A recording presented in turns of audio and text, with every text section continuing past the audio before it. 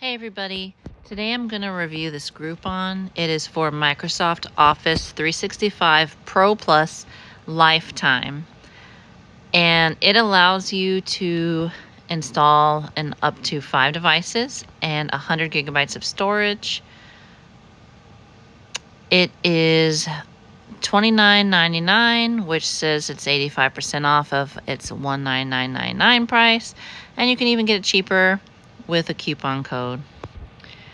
So it does say that uh, you get lifetime access. You can have access to Word, Excel, PowerPoint, Outlook, OneNote, Publisher, and Access. It says no product key required. You're going to get a new Office 365 account, which means you cannot upgrade your other account um, if you have another one.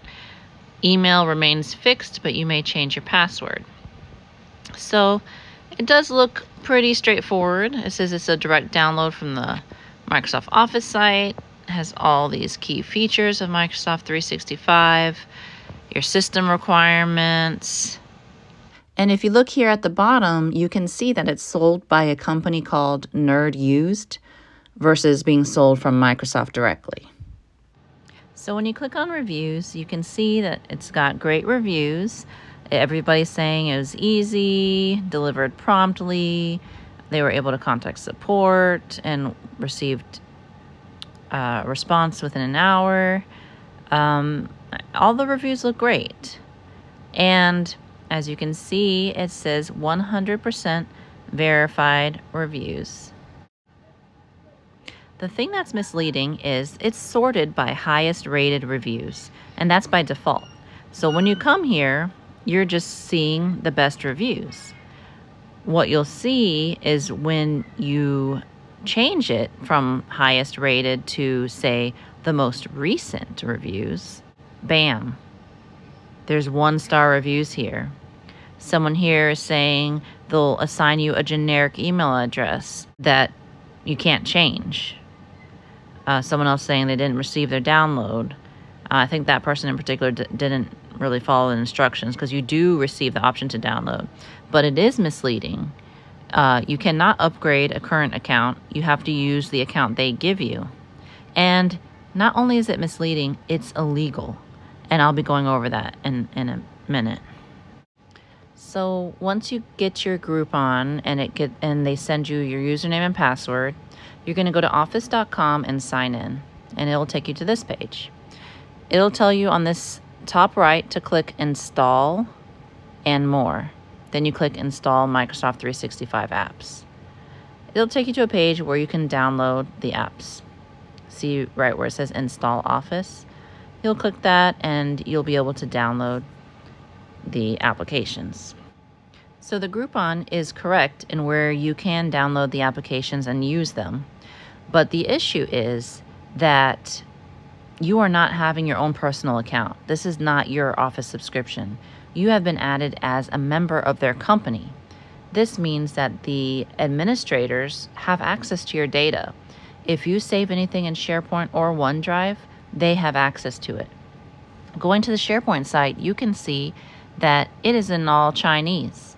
This means this company that's in China, most likely, has access to anything that you save in SharePoint or into OneDrive. If you have your folders backed up into OneDrive, um, say the folders on your desktop, they'll have access to that as well. And another thing to keep in mind is if this company goes out of business, or say if Microsoft catches on to what they're doing, is it is against their terms of use, so they may, uh, you know, cancel their account. And in that case, you will lose your access. So going to OneDrive, uh, if you click on My Files, you'll see I, I haven't uploaded anything. But if you have anything in here, that's what they're able to access. Um, if you set it up and you chose to back up the folders on your computer, that's going to be in here as well. And that's what they can access.